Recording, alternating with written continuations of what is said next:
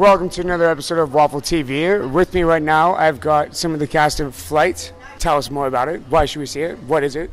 Uh, Flight is a physical theater sequel to The Little Prince. So, in the show, we've been working to blend acrobatics seamlessly into storytelling.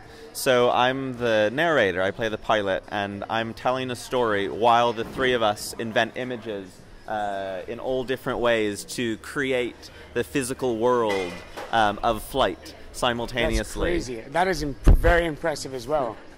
I can barely stand on my own two feet, and you guys are in the air. So, uh, so we're all acrobats um, and also dancers and theater performers. Cool. And so um, we work to put them all together and play with them in a way that hopefully makes it feel like one world. nice. It's a definitely collective mix, that's for sure. But yes, you heard it here, folks. Check it out. Flights at where? Assembly at the Roxy. Wicked.